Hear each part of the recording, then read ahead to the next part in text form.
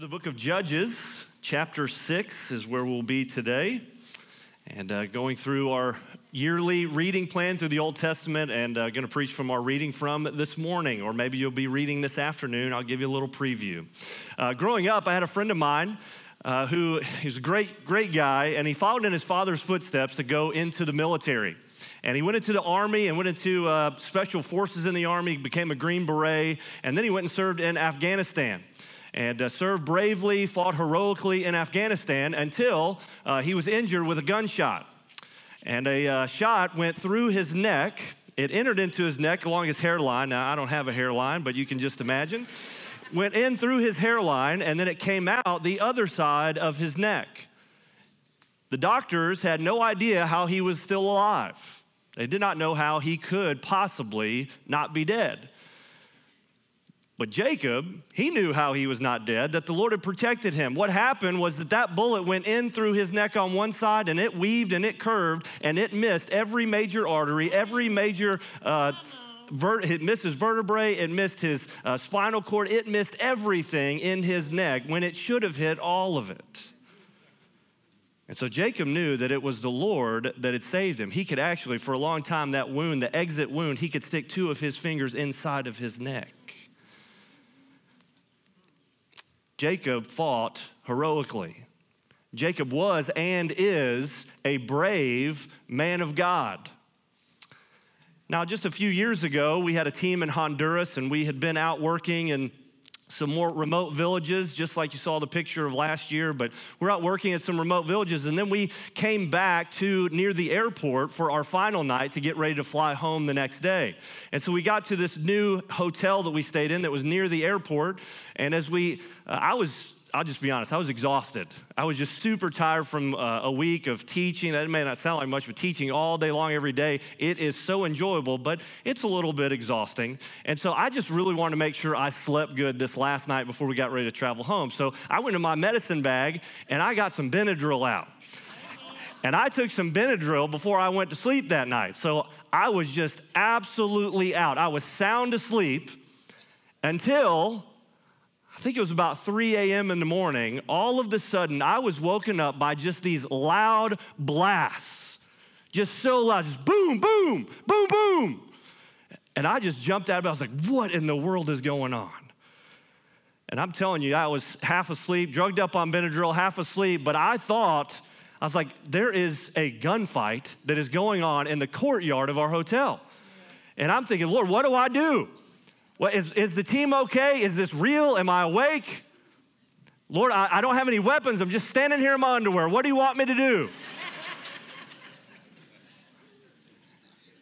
it turned out to be fireworks. but two very different stories, two very different examples.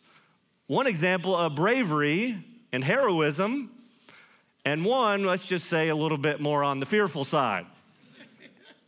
How do you handle fear? How we overcome our fear? I can tell you firsthand, it's not by taking Benadryl. That's my excuse, at least. But how do you overcome fear when it comes to obeying what God calls you to do? How do you fulfill the Lord's call for your life with courage and with bravery? Now, there is a famous story in the Old Testament where, uh, in the book of Judges, where we're studying, uh, where a man named Gideon, God used Gideon to win this incredible battle.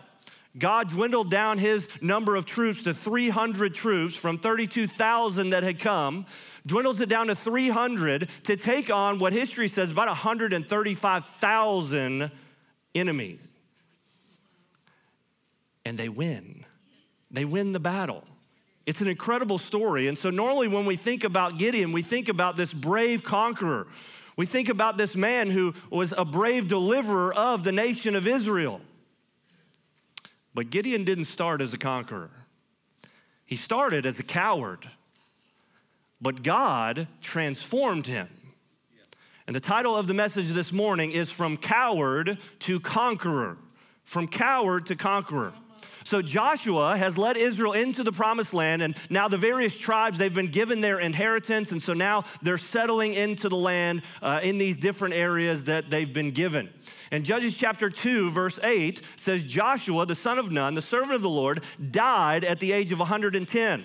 They buried him in the territory of his inheritance in Timnath Heres, in the hill country of Ephraim, north of Mount Gaash. That whole generation was also gathered to their ancestors. And listen to this after them, another generation rose up who did not know the Lord or the works he had done for Israel. So, after Joshua dies, the nation of Israel begins being ruled by these judges. Now, these judges weren't like our courtroom judges, like we might think of today. These judges were more like military leaders or political leaders for normally for their specific tribes. But if you read the book of Judges, the whole book is about how things just spiraled out of control. How the Israelites continued to rebel against God, and then God sends his judgment, allowing them to be oppressed by another nation. But we see these glimmers of hope where God has mercy on his people and he raises up a judge to deliver his people in spite of their rebellion.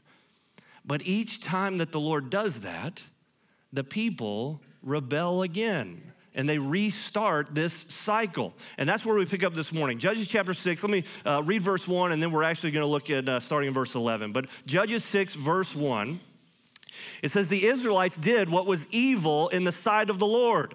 So the Lord handed them over to Midian seven years.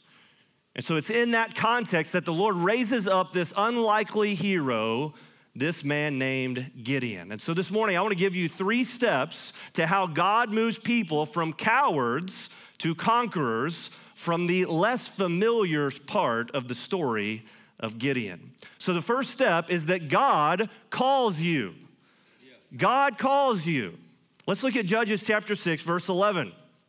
It says, The angel of the Lord came, and he sat under the oak tree that was in Ophrah, which belonged to Joash the Abiezrite. His son Gideon was threshing wheat in the winepress in order to hide it from the Midianites. Then the angel of the Lord appeared to him and said, The Lord is with you, valiant warrior. Gideon said to him, Please, my Lord, if the Lord is with us, why has all this happened? And where are all his wonders that our ancestors told us about? They said, Hasn't the Lord brought us out of Egypt? But now the Lord has abandoned us and handed us over to Midian the Lord turned to him and said, Go in the strength you have and deliver Israel from the grasp of Midian. I am sending you. He said to him, Please, Lord, how, how can I deliver Israel? My family's the weakest in Manasseh. I'm the youngest in my father's family. But I will be with you, the Lord said to him. You will strike Midian down as if it were one man. And then he said to him, If I have found favor with you, give me a sign that you're speaking to me. Please don't leave this place until I return to you. I let me bring my gift and set it before you. And he said, I will stay until you return. So the Israelites have been oppressed by the Midianites for seven years, and God, in his incredible grace, decides to deliver his people once again. And God calls the man Gideon for the task. Now, the angel of the Lord, it says, comes and meets with Gideon. Now, some of you are in the uh, Wednesday night class that I've been teaching that I've been thoroughly enjoying. I hope you have too, uh, called Jesus in the Old Testament, the appearances of Jesus in the Old Testament. We've been studying how Jesus is all throughout the Old Testament. He's not just in the New Testament, he's all throughout the entire Bible. The whole Bible is about him, and he's in all of it. And we've been studying lately about how the angel of the Lord is the pre incarnate Christ. The angel of the Lord is Jesus. So it's Jesus who comes to meet with Gideon. But Gideon doesn't realize exactly who he's talking to until later in the story. And so when Jesus comes to Gideon, Gideon is threshing wheat in a wine press. Now, typically, you thresh wheat on a threshing floor.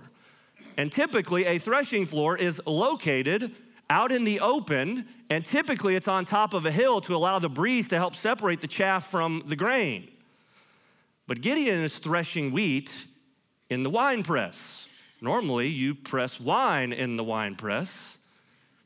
And typically, a wine press was at the bottom of a hill to make it easier to get the grapes down to the press. Listen to me Gideon is hiding. Gideon is not courageous. This is not brave. This man is being controlled by fear. Now, Gideon could hide from the Midianites, but Gideon could not hide from the Lord. But look at the first thing that the Lord says to Gideon. It's almost humorous. Jesus calls this man who is hiding like a coward, he calls him valiant warrior. Now, this doesn't seem like a valiant warrior to me. Now, I'm guessing Gideon in that moment started looking around to see if someone else was there. You can't be talking to me. Because he knew he was hiding, he knew that he was afraid. But Jesus wasn't joking here. There's a little bit of irony, but he's not joking. He wasn't referring to what Gideon was, God was referring to what he would become. This is a word of encouragement. This is a declaration of who God was promising Gideon would become. But before the Lord called Gideon, the Lord saw Gideon. Jesus saw Gideon hiding. But he saw past his fear, he saw past his cowardice to he, what he knew Gideon could become. I hope you hear me this morning. God sees you. God sees you. He knows your fear, He knows your doubts, He knows your past. And He sees through all of that to what He wants you to become. He sees your struggles and your weakness and your sin. But that doesn't stop Him from calling you. What Hagar claimed, what she proclaimed about God back in Genesis 16 is still true today. You are the God who sees me. God sees past your current state of weakness to what he wants you to become. And so Gideon hears, The Lord is with you, valiant warrior. But he responds with questioning and doubting. And instead of confessing his sins to the Lord, he blames God for abandoning them when it was them who abandoned God. But the Lord shows grace to Gideon. He shows grace to him and he responds with his accusations. The Lord responds with a call on Gideon's life. He says, I am sending you. You're my man. You're going to deliver Israel from the Midianites.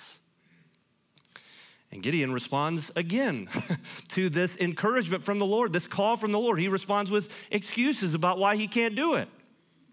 And then again, the Lord is gracious and encourages him with a promise of his presence and also with a promise of victory. But Gideon is such a coward, he still, this isn't enough for him. Then he asks for a sign. Give me a sign. Gideon was skeptical. Gideon was cynical. Gideon was weak. He was cowardly. But God called him to deliver the people anyway. The Lord doesn't call the equipped, He equips the called.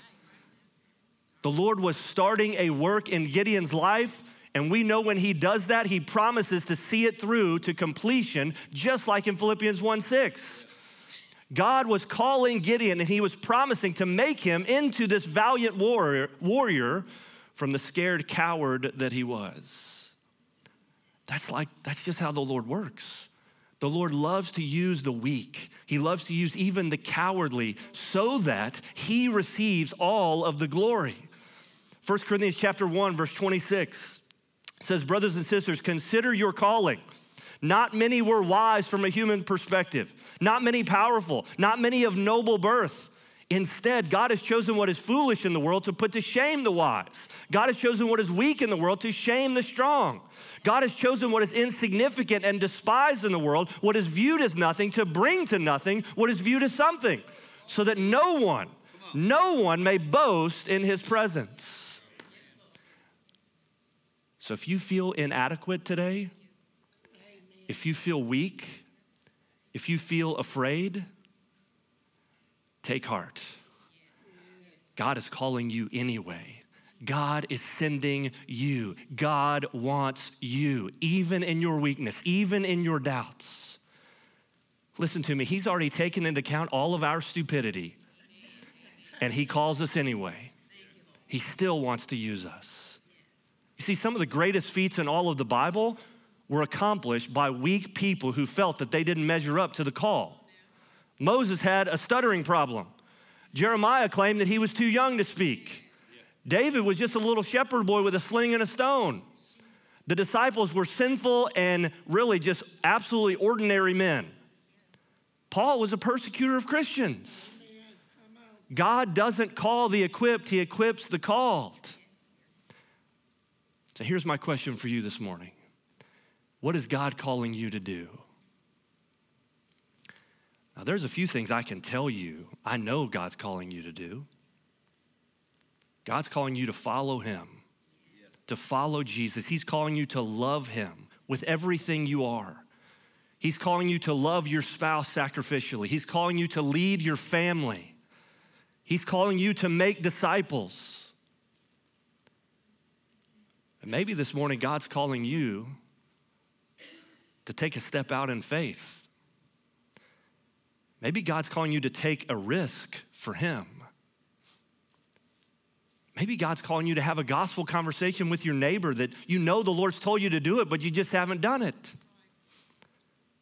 Or maybe this morning God is working in your heart to call you into full time ministry or to call you to the mission field. Ask the Lord right now Lord, what do you want me to do? What are you calling me to do with my life? And whatever that is, surrender to it because Jesus is worth it and he will equip you to do it. So, number one, God calls you. The second step in how God moves people from cowards to conquerors is God prepares you. He prepares you. Look at Judges. Let's pick up the story in verse 19.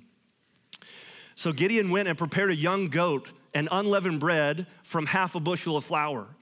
He placed the meat in a basket and the broth in a pot, and he brought them out and offered to him under the oak the angel of God said to him, Take the meat with the unleavened bread, put it on this stone, and pour the broth on it. So he did that. The angel of the Lord extended the tip of his staff that was in his hand, and he touched the meat and the unleavened bread, and fire came up from the rock and consumed the meat and the unleavened bread. Then the angel of the Lord vanished from his sight. And when Gideon realized that he was the angel of the Lord, he said, Oh no, Lord God. I have seen the angel of the Lord face to face. But the Lord said to him, Peace to you. Don't be afraid, for you will not die. So Gideon built an altar to the Lord there and called it the Lord is Peace. It is still in Ophrah of the Abiezrites today. Now, Gideon must have started to think that there must be something special about this man that he's having this conversation with because the food he prepares, if you study it, it wasn't just human hospitality. It's not like, hey, just let me get you something to eat. This was an offering to God that he was preparing. And so the angel of the Lord graciously goes along with Gideon's request for this sign. And then he does something miraculous. The offering is miraculously consumed by fire, even after the broth is poured on it and it comes up from a rock. And then the angel of the Lord disappears. Finally, Gideon realizes just who he's been talking to. He now knows that this is the Lord himself. Gideon knows that he has had an encounter with the living God. And Gideon realizes his mistakes. He realizes his foolishness. He's, he knows that he has seen the Lord of all, and his sinfulness has now been revealed. And he knows that he deserves to die. But once again, because our God is so gracious and so merciful and so abounding in love, the Lord responds with yet another word of encouragement. But this time, hear me, this time, is different.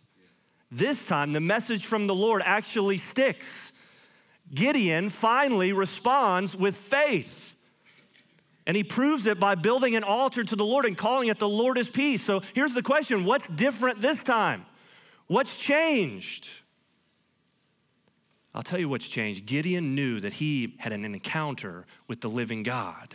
That's what changed. He finally saw the Lord for who he is, and he finally responds with repentance and faith. And he turns from worshiping these idols, worshiping these false gods, and he displays his new faith by building this altar to the one true God. This was Gideon's salvation moment. Amen. Gideon finally believed. Listen to me, if you are here today and you have never truly believed in the Lord Jesus Christ, today is the day of your salvation. The Bible says that if you turn from your sin and you trust in Christ, that He'll save you. God saves sinners through the life and the death and the resurrection of Jesus. You can turn from your sin and be saved today. This encounter that Gideon had with God started a process of transformation in Gideon. God was preparing him for his calling. Do you realize that every single thing that happens in your life, everything, God is using to prepare you? He's using it to prepare you for what's next. So, what is it that you're going through today? What struggles do you have? What battles are you facing? Have you lost a loved one recently? Maybe you just got a diagnosis, or maybe you're battling through a disease. Maybe you have family problems, maybe you have problems at work. Hear me, God is preparing you. Romans 8 28 says that we know that all things work together for good for those who love God and are called according to his purpose. That means that God is constantly working every single detail in your life together for your good. Now, that doesn't mean that everything in your life is good, it means that the Lord has the divine ability to work even the bad things in your life for your good. God works everything in your life to make you more like Jesus to prepare you for the call that He has placed on your life to accomplish what He's given you. No trial is squandered, no tears are wasted. It's all working together.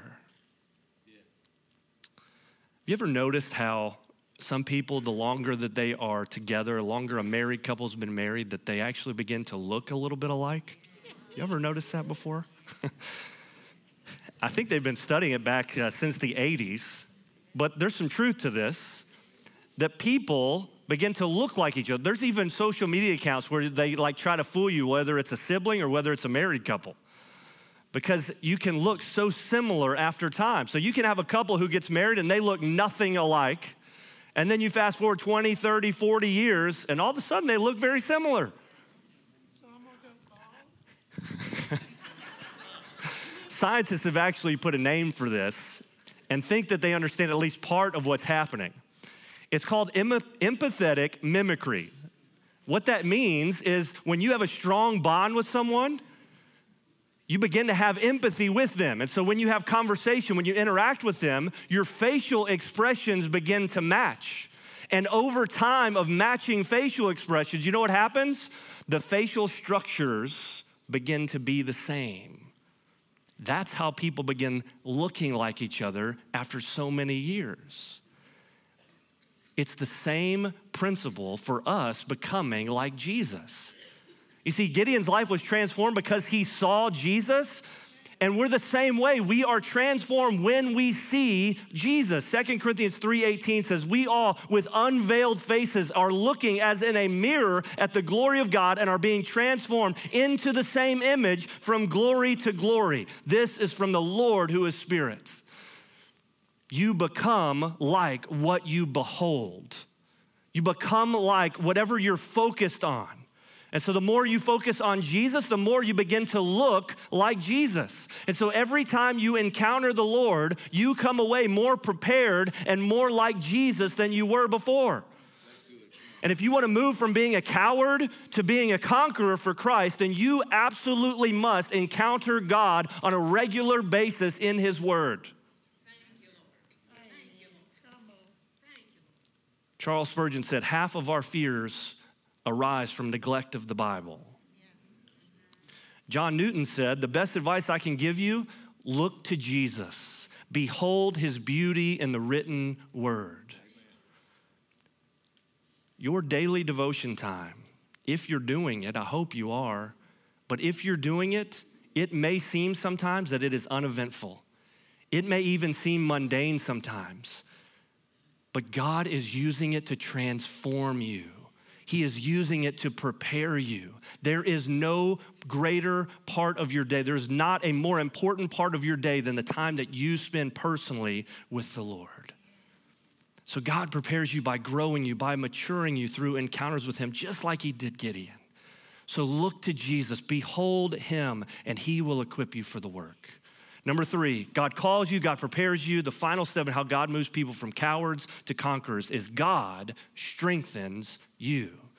Let's pick back up in verse 25.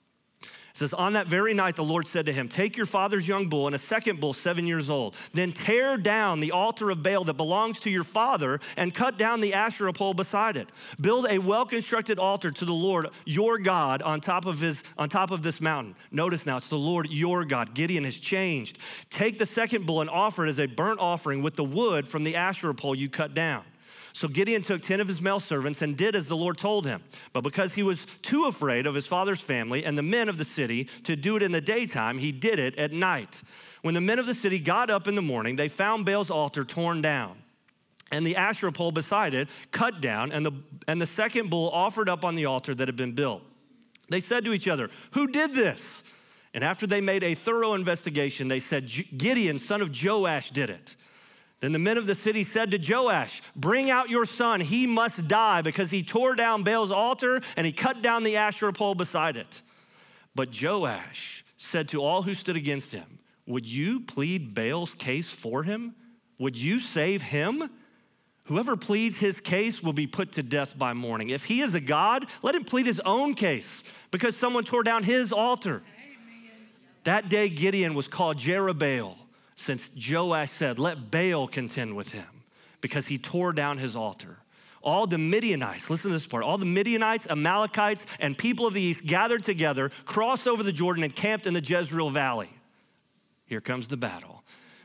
The Spirit of the Lord enveloped Gideon and he blew the ram's horn. And the Abiezrites rallied behind him. These men that were about to kill him now rallied behind him. He sent messengers throughout all of Manasseh who rallied behind him. He's also sent messengers to Asher and Zebulun and Naphtali who also came to meet him. Gideon starts as a complete coward. God calls him, God prepares him, and now we see the Lord strengthening him. And so God tells Gideon, Hey, Gideon, you know what I want you to do? You know that altar to Baal that your dad set up in the backyard for your family and for the whole town? I want you to go tear it down. That Asherah pole beside it, cut it down. I want you to make an altar to me there. I want you to make an altar to the one true God. Replace it with a correct altar. So before Gideon could take on the Midianites, he had to first confront the idolatry within his own family. And so Gideon's actions were an absolute ultimate insult to this false god. Baal was actually portrayed as a bull. And what did Jesus tell Gideon to sacrifice? A bull. He told him to take the wood from the Asherah pole, which was another false idol that uh, was related to Baal, and to use it for the wood for the sacrifice. God sent a clear message through Gideon. God said, I will have no other rival. I will have no other equal. These false gods are nothing before me. And even though Gideon still battled through his fear, he did it at night because he was afraid still. This is his first step showing that the Lord is strengthening him and making him into this conqueror. Then the men of the town come and they come after Gideon, but it's his father Joash that is there who comes to his defense. Remember, it's Joash's, it's his altar that he built that Gideon has torn down. It's his idol. But Joash is so impacted by his son that he denounces Baal as a false god. He says, Baal, if, let him contend for himself. If he's a real God, he doesn't need you coming after my son. Let him do it on his own. But here's the question What strengthened Gideon to go against his father, to go against his family, to go against the entire town? Where did this come from? I'll tell you where it came from. It came from the presence of the Lord. Yeah. It was the presence of the Lord. It was God's presence is our power, and his power is the means by which we accomplish the mission. And so before you fulfill your calling, you may have some idols that you need to take care of in your life. What idol do you need to destroy? What idol do you need to replace with an altar to the living God? Now, you may be thinking, well, I don't have any idols of Baal. Like Hindus, they have some idols. I don't do that. But you know, in terms of the scripture, anything you love more than the Lord, that's an idol. Anything that you value more than the Lord, that's an idol. Anything that you focus on more, anything that you're more passionate about, those things are idols. Smash the idols, tear down the altar. So God strengthened Gideon for destroying the idols, but then comes the big test. Verse 33 says that the Midianites, it wasn't just them, the Amalekites and the people of the east, they all gathered together. And so now it's time for battle. And this battle is even bigger than Gideon was expecting. Remember, Gideon's thinking, hey, it's just the Midianites, and now all these other people have come too. But Gideon blows the horn and he spreads the word, and 32,000 soldiers rally behind him and assemble for battle. Now, you can read tomorrow in our reading about how God miraculously gives them the victory. But think about this can, can this really be the same guy? The same guy who was threshing wheat in the wine press? He seems totally different. Now, this guy has the spiritual power to back up this title of valiant warrior. It's the Lord who strengthened him. And he went from faithless coward to fearless conqueror who delivers the nation of Israel. And then, if you look in Hebrews chapter 11, it's called the Hall of Faith, the heroes of the faith. In verse 32, you know whose name you find there? Gideon. You find Gideon's name. How in the world did Gideon make such a transformation? How does Gideon become such a great warrior and conqueror? Well, the key is in verse 34 in Judges chapter 6. It says, The Spirit of the Lord enveloped Gideon. I love that word. If you study the, the background of it, it, it kind of means like the Lord put Gideon on like a suit. The Lord put, on, put him on like a suit. It was the Lord working through Gideon. The Spirit of the Lord came on Gideon, but listen to me this morning, church. The Spirit of the Lord dwells within you. Romans 8 11 says that the same power that rose Jesus from the dead lives in us. So don't insult God by saying, God, you can't use me. God calls us, God prepares us, God strengthens us. He is the one who brings the power. So if you feel inadequate, maybe you do today.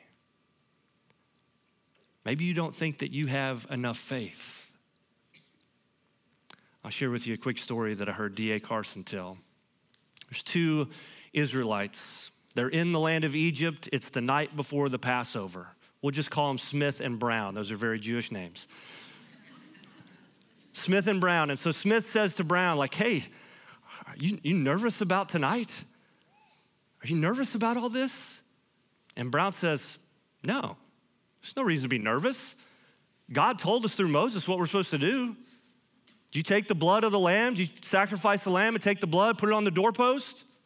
I mean, that's all you got to do. You do that. You, you, did you get the Passover meal ready? Did you follow the instructions?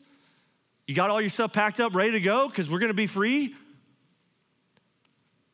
So Smith says, Well, of course I did that. I'm not an idiot. Of course I put the blood there.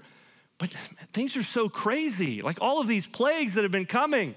And now this, this threat of this angel of death coming and the firstborns being killed. Like, you got three sons. I only have the one. I love my boy. I don't want him to die. I trust God, but it, it's just, it's crazy. I'm just nervous about it. And Brown says, bring it on. I trust the promises of God. That night, the angel of death swept through the land. Here's the question Which man lost his son? Which man lost his son? The answer is neither. Neither. Because death does not pass over them on the basis of the intensity of their faith, but on the grounds of the blood of the Lamb. The weakest faith in the weakest faith gets the same strong Christ that the strongest faith gets. How many times do we ask God, God, do you still love us? God, do you still, uh, can you still use me? After we've done such dumb things, such sinful things, such rebellious things, even after being Christians for years. What are you going to say to the Lord? Well, God, I, I tried hard. I did my best. It was just, just a bad moment, just a lot of bad moments. No. I have no other argument. I have no other plea. It is enough that Jesus died and that he died for me. It's not the intensity of our faith that saves, but it's the object of our faith that saves. We overcome by the blood of the Lamb. This is the basis of all acceptance and all assurance before God. It's all because of Jesus. It's only by the blood of the cross. God is at work no matter the level of your faith. God doesn't need you to be strong, He wants to be your strength. He wants you to trust in Him. The Holy Spirit makes even the weakest man supernaturally strong. 2 Corinthians 12 9. But he said to me, My grace is sufficient for you, for my power is perfected in weakness. Therefore, I will most gladly boast all the more about my weakness so that Christ's power may reside in me. Amen. What's the Lord calling you to do today? What's He calling you to do? Do you feel inadequate? Remember, the Lord is not looking for your strength, He's looking for your reliance on Him. It's Him who strengthens us. And just like God took Gideon from coward to conqueror, He can transform you and use you to do great things for His glory. Maybe you're here today, and like I mentioned earlier, maybe you don't know the Lord Jesus Christ. I want to invite you in just a moment. We're going to stand and sing. I want to invite you to come forward when we sing. Just come, I'll be at the front right here. You come forward to me and just say, Hey, I need, I need Christ. I need Jesus. And we'll take you into the counseling room over here and just have some people talk with you about what the Bible says about how you can cross over from eternal death to eternal life. And then for all of us who are Christians here today,